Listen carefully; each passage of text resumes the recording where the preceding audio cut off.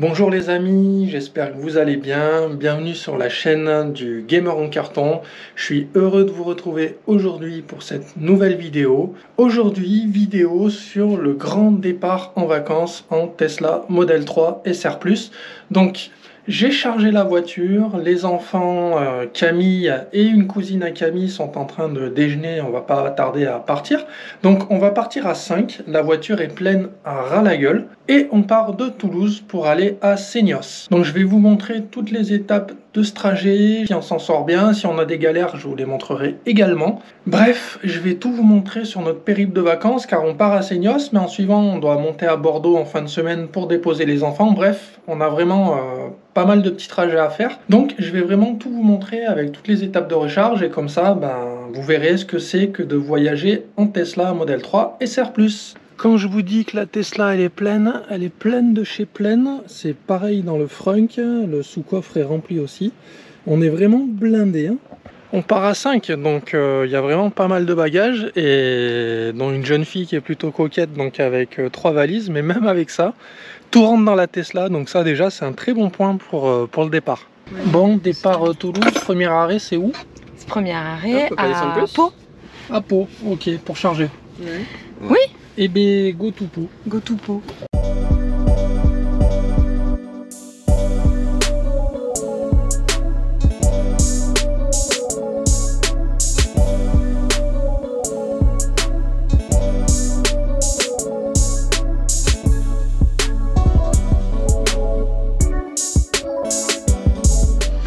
Arrivé au superchargeur de peau avec 23%. En ayant pas spécialement fait attention, j'ai roulé à 130-135 avec des petites pointes. Euh, donc il y avait 175, ouais, 180 km.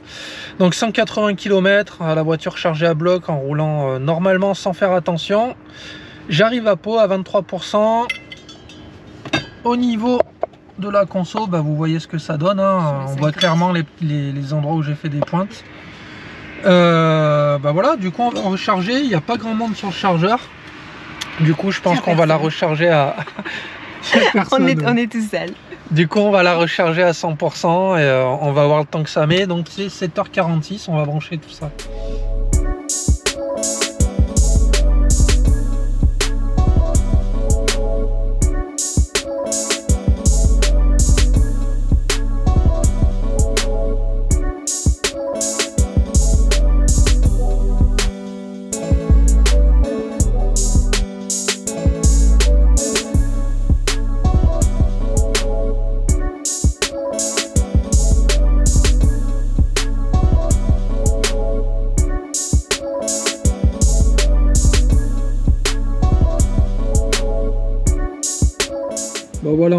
80% en l'espace de 20 minutes à peu près. Donc euh, ce que j'avais dit. Et en fait, il nous annonce euh, une demi-heure pour euh, les 20% restants. Bon, on va voir si on charge à 100 ou pas. On a le temps de toute façon, donc voilà. Bon voilà, la voiture est presque pleine, elle nous annonce 10 minutes pour les 2% qui restent, mais bon on va décoller. Donc on a eu le temps de se poser et de boire un coup. Bon du coup si je résume notre arrêt à peau, grosso modo il aura fallu 20 minutes pour charger à 80%. Mais vu qu'on n'est pas spécialement pressé, qu'on veut arriver à destination avec un maximum de charge, euh, nous on a chargé la voiture pratiquement à 100%, à 97%. Ça a pris euh, une quarantaine de minutes à peu près. Voilà, comme ça on va pouvoir euh, finir le trajet sereinement euh, jusqu'à euh, Osgore. Alors je disais, on, va en vacances à Seignos, mais en fait on se fait un petit arrêt cet après-midi à Osgore pour profiter de la de l'océan, en attendant qu'on puisse aller récupérer notre notre mobilhome. Donc bah voilà, du coup on devrait arriver avec Osgore avec assez de batterie pour rouler là-bas sans trop se prendre la tête. Au pire, on a repéré une borne euh, gratuite sur euh, un parking qui est juste à côté de la plage, donc au pire, on ira se brancher là-bas. Et, voilà, donc euh, pour l'instant, c'est assez serein, pas de soucis particuliers, donc on va continuer le trajet. Allez à 483 boulevard de la Dune à Osgore. Mais tu peux laisser la troupe Ouais. On va s'en débrouiller. Bah, elle rentre pas là donc il nous annonce 130 km avec 55% de batterie à l'arrivée. Donc on va voir ce que ça donne.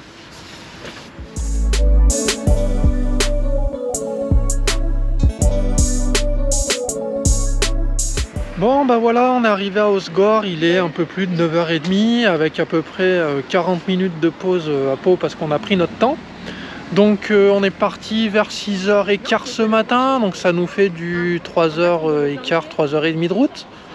C'est plutôt pas mal, hein J'ai envie de dire à France Télévisions de venir avec nous pour faire des trajets la prochaine fois, ce sera plus simple. Donc voilà, le premier trajet aller s'est super bien passé, on est arrivé, il fait beau, il y a du soleil. Et on va profiter de la plage en attendant d'aller euh, retrouver notre mobilhome qui est réservé en fin d'après-midi.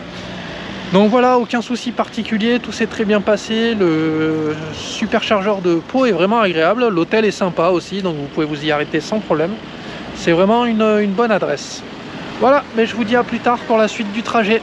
Et voilà les amis, on est arrivé au camping où on a loué notre euh, mobilhome. Donc euh, pour rappel, on est arrivé ce matin à Osgore avec un peu plus de 50% de batterie. On a profité de la matinée et de l'après-midi pour aller à la plage et profiter de l'océan. D'ailleurs, je me suis pété un tympan dans les vagues, mais ça, c'est habituel, c'est pas grave. Hein du coup, bah là, on a rejoint euh, où on a pu donc prendre possession de notre mobilhome. Surtout, le camping qu'on a choisi possède deux bornes de recharge, dont une qui était dispo, donc on a pu se brancher euh, dès qu'on est arrivé. Euh, ça va permettre de recharger tranquillement la voiture à 100%.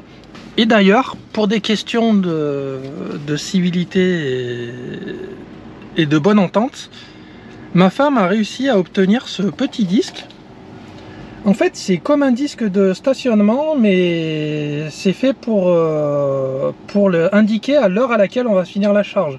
Je trouve ça super bien pensé et, super intelligent. Comme ça, si quelqu'un attend de se brancher, bah, il sait que dans 4 heures, 3 heures, euh, enfin, il sait à quelle heure on, estime qu'on va finir la charge, donc il pourra euh, revenir à l'heure où on vient débrancher la voiture et il pourra se brancher lui-même. Je trouve ça super intelligent. Et du coup, ça, c'était fait par le Tesla Honor Club. Euh, a priori, ils ont prévu d'en refaire, donc renseignez-vous hein, si jamais ça, vous intéresse. Donc, je vais régler l'heure du disque et je vais aller me poser tranquillement dans le mobilhome pour savourer notre arrivée et prendre l'apéro qui va bien. Je vous dis à plus tard pour la suite de nos aventures.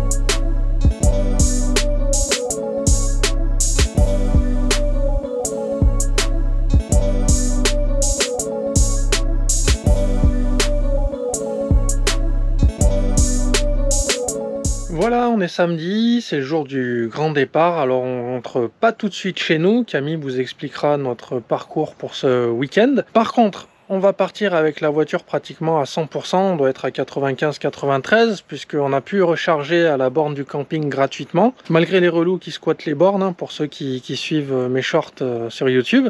Donc on s'en est quand même sorti. D'ailleurs, je tiens à préciser qu'on a pu recharger gratuitement toute la semaine. C'est un des avantages des véhicules électriques. La plupart des, sites à destination commencent à proposer des services de recharge gratuite inclus dans la, dans la location. Donc ça, c'est plutôt pas mal puisque rouler avec la Tesla pendant toute la semaine n'importe quel autre véhicule électrique, bah, vous coûtera rien du tout et ça, c'est un énorme avantage. Donc là, on va nettoyer, ranger le, le mobilhome. Je vais tout charger dans la voiture et ensuite on va partir pour la suite de notre trajet que Camille va vous expliquer. Donc aujourd'hui, on a un petit périple à faire puisqu'on doit déposer chacun de nos enfants. Alors un Villeneuve-d'Ornon, c'est dans la périphérie sud de Bordeaux. Le second à Lacano, donc c'est pas pas très loin et ensuite on doit revenir nous à Bordeaux centre pour passer la nuit sur place et rentrer chez nous dimanche matin. Donc sur la première partie du trajet, on va faire donc un Toulouse ville euh, Toulouse.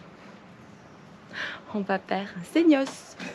On va faire un Seignos Villeneuve-d'Ornon. A priori, on n'a pas besoin de charger. J'avais fait le, trajet total, sans compter le retour à Toulouse, mais le trajet total de la journée sur Better Route plein air pour voir effectivement euh, si, à quel moment il fallait, euh, il fallait s'arrêter. Alors, c'est pas indispensable là, de nous arrêter entre euh, Seignos et Villeneuve-d'Ornon, mais euh, vu qu'il y a un superchargeur à la boire et que c'est sur notre route, on va quand même prévoir le premier, voilà, le, la première étape là, comme ça on fera bien on fera bien un complément de charge et euh, pour être tranquille le reste, le reste du trajet voilà, donc ensuite on va déposer à Villeneuve-d'Ornon un de nos enfants. Villeneuve-d'Ornon pourquoi? Ben Justement parce que je me suis dit que si jamais je savais pas trop au début des vacances, comment ça allait se passer pour les charges, etc. Et euh, du coup je me suis dit, ben, puisqu'on doit se donner rendez-vous à un endroit à autour de Bordeaux, autant que ce soit un endroit où il y a des, des bandes de recharge. Et en l'occurrence, il y a un centre, euh, commercial, enfin, une zone commerciale à Villeneuve-d'Ornon qui dispose à la fois d'un méga CGR qui propose des bornes. Alors j'imagine payante celle-ci, mais juste en face il y a aussi un Lidl il y a des bornes gratuites. Si jamais on avait besoin de faire encore un complément de charge, m'étonnerait très, très prévoyant. alors qu'on n'a pas besoin. Non, ouais, c'est pour ça. Donc ensuite, ça nous permettra de faire un aller-retour à, Bordeaux, enfin à Lacano, Bordeaux-Lacano, puisque c'est qu'à 70 km, donc aucun problème. Et je pense qu'ensuite, euh, avant d'aller de, d'aller sur Bordeaux-Centre, on s'arrêtera, il y a un superchargeur à Mérignac, sur le parking du No Hôtel de Mérignac. Et je pense qu'on va, je pense qu'on s'arrêtera là, pareil, pour être, euh, même si on n'est pas loin derrière, mais comme le lendemain, on va attaquer notre retour sur Toulouse euh, voilà, autant. Voilà. Et je suis pas sûre qu'on ait de quoi charger à, Bordeaux Centre, puisqu'on a trouvé un hôtel qui nous accueille et qui a prévu. Euh, qui a prévu euh, un garage en sous-sol fermé avec une place pour nous, mais pas forcément de prise. Donc, donc du coup, je pense que je pense qu'on va faire voilà une grosse charge à Mérignac ce soir pour nous permettre de, de faire notre première partie de trajet demain pour le retour entre Bordeaux et Toulouse. Donc on est parti pour la première partie du trajet. Donc on va s'arrêter au superchargeur de la Boire. Donc c'est programmé dans le GPS de la Tesla. Il n'y a plus qu'à suivre. Et à se laisser guider.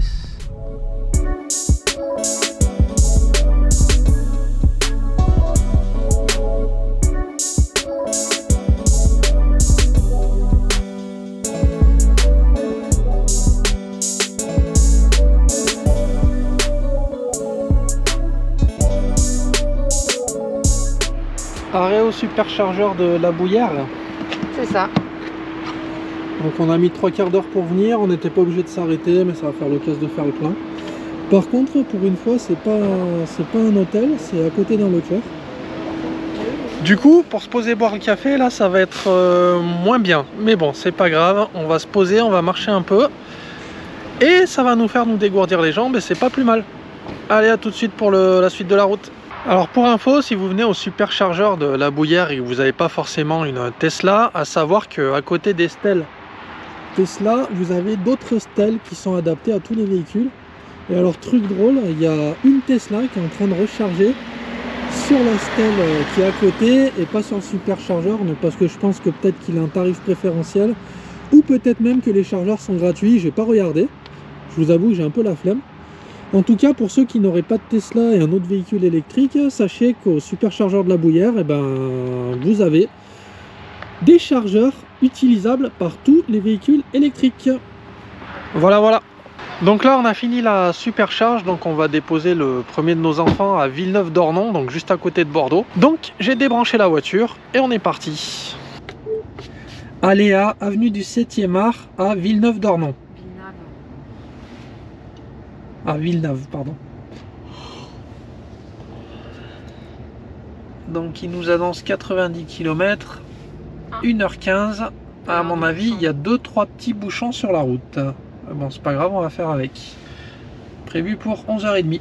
Bon voilà, on vient d'arriver à la Cano après avoir déposé notre premier fils à côté de Bordeaux, comme on vous a dit. Donc il y avait quelques bouchons, mais euh, on n'a pas perdu un temps significatif euh, par rapport à si on avait eu une thermique. hein. Comme vous avez vu dans la vidéo, on s'est juste arrêté en début de parcours pour recharger un peu pour être tranquille. Et du coup, on est arrivé tranquillement à la Cano. Il nous reste euh, 58% de batterie, donc on a de quoi rentrer à Bordeaux ce soir euh, après avoir déposé notre deuxième fils euh, à la Cano. Donc tout va bien, c'est tranquille. Les vacances continuent en électrique.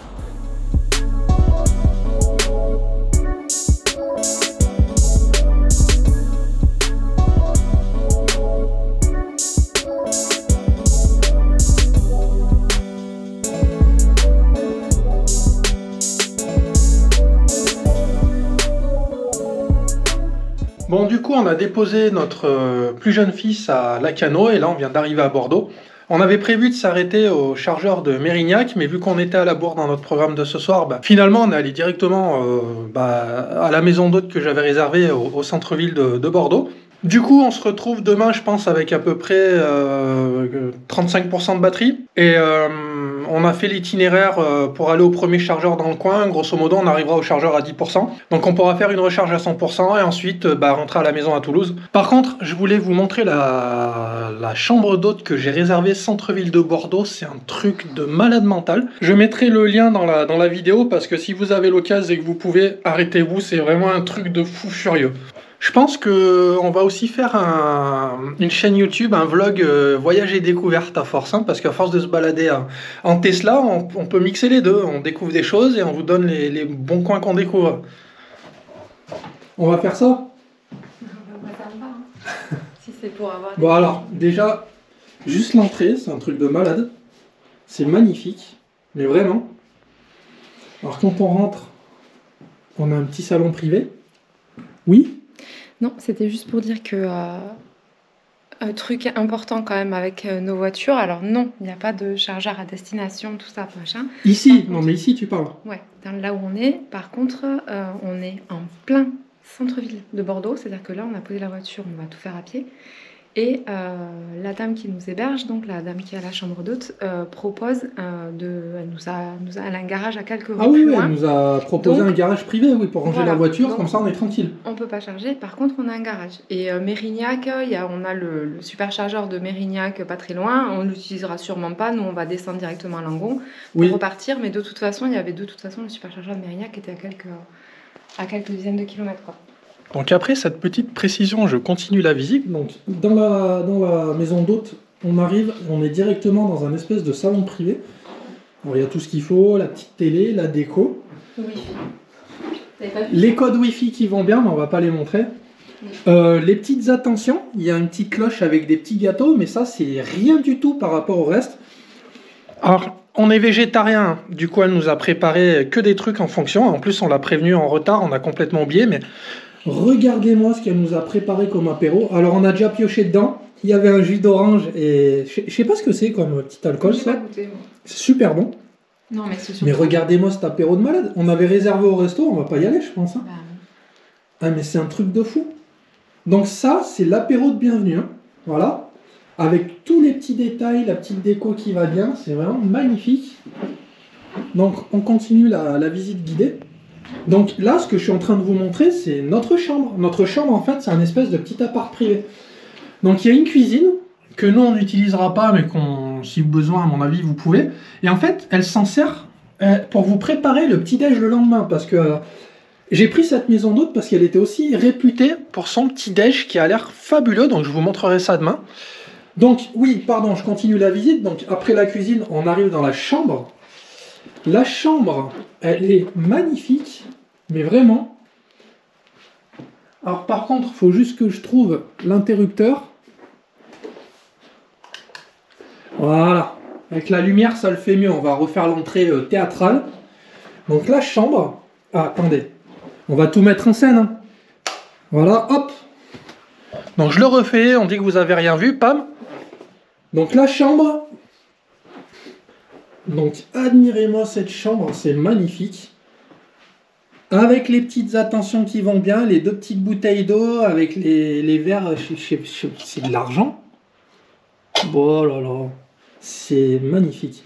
De chaque côté du lit, chacun a ses petites attentions avec un petit ballotin et des petites gaufrettes. Voilà, donc euh, des deux côtés du lit. Hein. Avec le petit lit à baldaquin qui va bien. Pareil, euh, ça c'est à disposition dans la chambre si on veut se faire un thé, un café, euh, tout ce qu'on veut. Bon, on a déjà un peu pourri l'ambiance avec nos affaires, mais fermez les yeux, on voit rien. La déco, c'est magnifique. Et la salle de bain. Alors, on a roulé toute la journée, hein, donc excusez-nous, à peine arrivé, on a pris une douche, on a foutu le bordel. Mais même après notre passage, c'est magnifique. C'est magnifique, la douche est magnifique, avec des robinets euh, à l'ancienne. Et alors, on continue dans les petites attentions la maîtresse de maison, elle met ça à disposition. S'il vous plaît, quoi. Un set de rasage avec le verre qui va bien et une trousse remplie d'accessoires qui, sont offerts. Hein. Et euh, on n'a même pas besoin de déballer nos accessoires à nous, quoi. C'est un truc de fou. C'est un truc de fou. Donc, je vous mettrai euh, l'adresse et la description de cette maison d'hôte hein, euh, dans le descriptif de la vidéo parce que ça vaut vraiment le coup. Alors, certes, c'est pas donné, mais euh, franchement, vous en avez pour votre argent. D'ailleurs, c'est quoi le nom déjà? J'ai oublié. C'est le Clos de Saint-Seurin. Ah oui, Clos de Saint-Seurin, c'est en plein centre de Bordeaux. Bon, comme ça, on va mériter notre surnom de Bobo. Oui, ah bah là c'est sûr. Euh, après, vous voyez bien à notre étonnement quand même ça tous les quatre matins quand même. Non, mais enfin là on s'est lâché sur cette chambre-là, faut dire. Hein, et, euh, et l'hôtesse euh, est vraiment adorable et, et, comme vous pouvez le voir, au petit soin quoi. C'est-à-dire qu'elle nous a voilà sorti le plan, elle voulait savoir si on avait besoin de, de, quelque chose, à quelle heure on pouvait des petits déjeuners en disant mais si vous voulez petit déjeuner à 11h, dites-le moi, je suis enfin vraiment charmante, vraiment charmante. Voilà, donc on vous montrera aussi le, petit déj demain. Hein. Et bah, nous, on va profiter de notre apéro et on va aller se balader dans Bordeaux. Bon, voilà, on s'est bien baladé à Bordeaux hier soir, n'est-ce pas? Et là, on se retrouve pour le petit déj qui est gargantuesque. C'est incroyable, incroyable. Et ça, c'est que le chaud. Ça, c'est que le chaud, sachant que quand on a fini, si on veut, on a du froid également. Donc je vous mettrai l'adresse de la, maison d'Autun dans la, vidéo parce qu'elle est exceptionnelle. Donc on va finir le petit-déj, on va se balader dans Bordeaux. Et ensuite, on va rentrer euh, sur Toulouse et je vous montrerai bah, la fin de notre trajet avec les supercharges et, et tout ce qu'on va faire pour rentrer à Toulouse. A plus tard.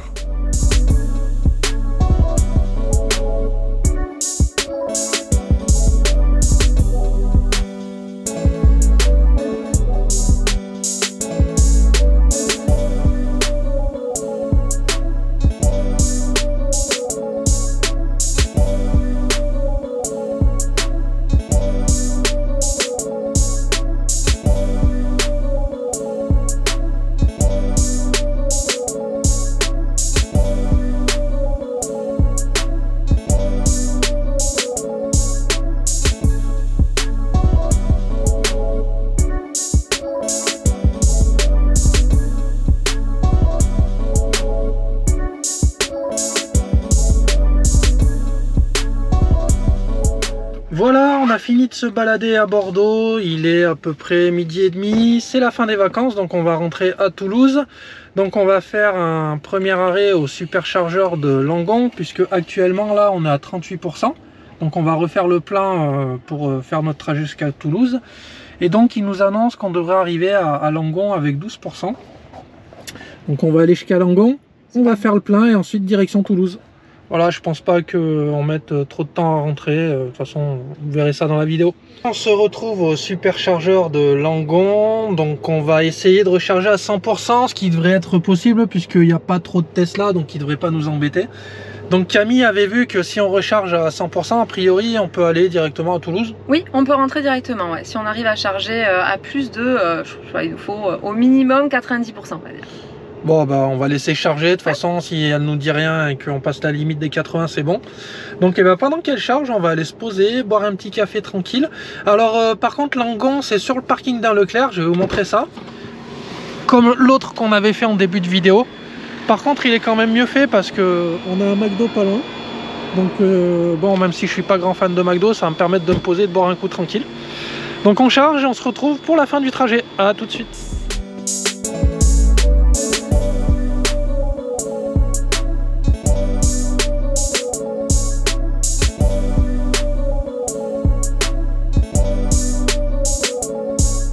Alors par contre, euh, j'avais juste oublié de préciser un truc pour ceux qui se poseraient la question. Dans tout le périple que vous venez de voir là, euh, les superchargeurs, il n'y en a aucun qui est sur l'autoroute. hein. À chaque fois, il faut sortir. Par contre, pas d'inquiétude, à chaque fois, c'est dans un rayon d'à peu près 1,5 km autour de l'autoroute. Donc on sort à peine, euh, ça prend pas vraiment beaucoup de temps. On fait son plein, on re-rentre. Alors c'est vrai qu'il y en a qui pourraient râler sur le fait de passer le péage et de revenir, mais au final, c'est pas si grave parce qu'on perd pas tant, tant que ça. Donc là, la voiture est chargée à 98%, donc en théorie, on devrait pouvoir rentrer à Toulouse directement. Donc on va voir ça tout de suite. On a fait la planification pour rentrer à Toulouse, donc on a euh, 208 km à faire, il nous annonce à peu près 1h51 de, de route. Et surtout, ben, on n'a pas besoin de recharger et on devra arriver à la maison avec à peu près 19%, c'est ça 20, 20, ouais. 20, 20, 19% 22%, ouais. Ouais, donc c'est tranquille. Comme ça, on fait euh, le dernier bout euh, en moins de deux heures. On rentre à la maison, on branche la voiture et on va se reposer pour récupérer les vacances. C'est ça C'est ça. Bon, en vrai, on a une semaine pour en profiter sans les enfants. Donc, euh, même si on reprend le taf, je pense qu'on va s'amuser un peu.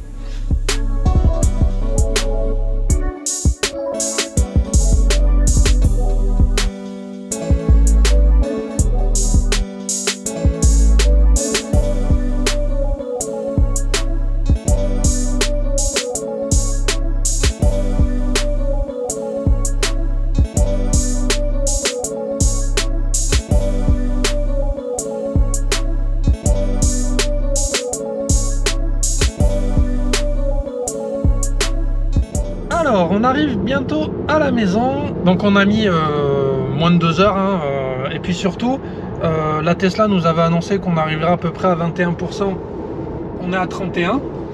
Sachant que Camille s'est lâché un peu quelques fois, hein, parce qu'on a eu deux trois relous qui collaient un peu. Donc voilà.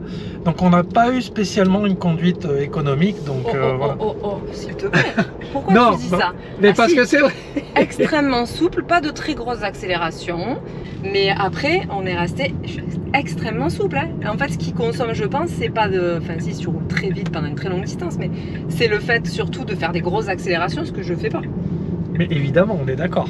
Du coup, on va rentrer euh, tranquillement à la maison. Euh, le premier résumé qu'on peut faire de, de nos premières vacances en Tesla, bah, c'est qu'on a eu euh, zéro problème. Zéro problème, on s'est pas inquiété, on s'est pas pris la tête. en termes de quoi? Alors attends, tout ça, ça va passer après tes shorts de ralage, comme quoi la bande du camping, on peut jamais charger. c'est ça non mais eh, cela dit, on a chargé à chaque fois qu'on a voulu. C'est juste qu'il y avait Fallait surveiller, fallait Il surveiller. fallait surveiller la borne pour que quand les relous se cassaient, il fallait mettre des, des voitures électriques à la place. Mais au final, euh, au final on, a, on a roulé gratuit euh, toute la semaine hein, pendant qu'on était au camping. Donc euh, Oui. c'est plutôt pas mal. Euh, oui, mais de toute façon, on se retrouve, le temps là, on va rentrer à la maison, on va décharger la voiture, on va se poser. On se retrouve en fin de vidéo pour un débrief euh, tranquillou euh, avec vous et pour vous faire un, petit résumé de toutes les vacances. Mais vous avez bien compris que dans un premier temps, euh, on n'a pas eu de soucis particuliers. On n'a pas mis 6 heures de plus qu'avec une thermique comme indiqué dans certains reportages. hein. Mais on vous explique tout ça plus précisément dans la suite de la vidéo. Allez, à tout de suite pour le débrief.